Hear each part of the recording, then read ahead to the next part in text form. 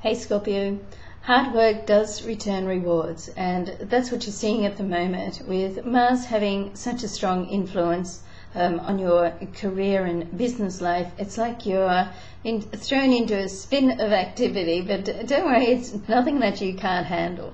Uh, you know, in fact, the, the challenge of keeping up with the pace and keeping everything rolling, once I met that momentum gets going, it's exhilarating for a scorpion. So it's what you thrive on.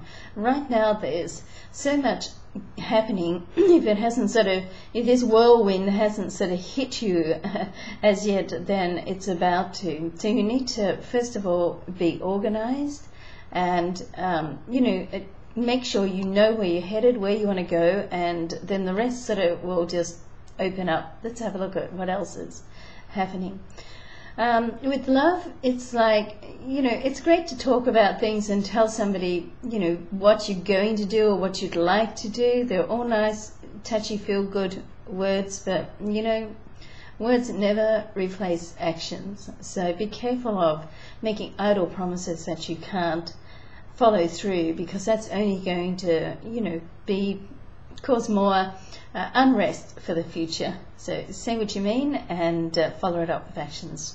Have a great time this week, and we'll see you next week. Bye.